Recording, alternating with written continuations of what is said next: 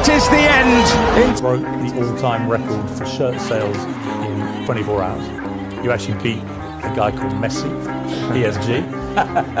you must have been happy about that. Of course I did. Uh, In terms of World Cups, for the great Cristiano Ronaldo. record now we want to know. Another one in my box my list. Hi guys, 400 million. Wow, what a number. Now I I can say, well, it's it's fantastic. What a moment for me. You know, without you, this would be would be possible. So, from the bottom of my heart, I have to say thank you. Keep going like that.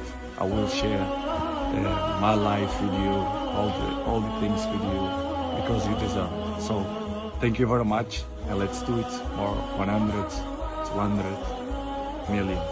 Thank you, guys.